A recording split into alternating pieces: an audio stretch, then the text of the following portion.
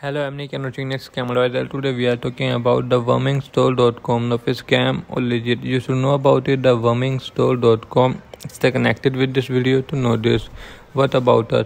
From humble beginnings at a middle America mall, kiosk selling worming herbal packs to the powerhouse e-commerce retailer of a head clothing, winter apparel, electronics, heating, as well as a comprehensive range of personal cooling products today.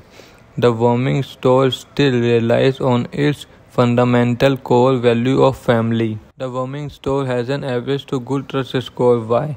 It seems that the warmingstore.com is legit and safe to use, not a scam website. The review of this website.com is positive. The positive trust score is based on an automated analysis of 40 different data sources which act online such as the technology used, the location of the company, other website found on the same web server, etc. Websites that score 80% or higher are in general safe to use with 100% being very safe. Still, we strongly recommend to do your own vetting of each new website where you plan to swap or leave your contact details. There have been cases where criminals have bought a highly reliable website.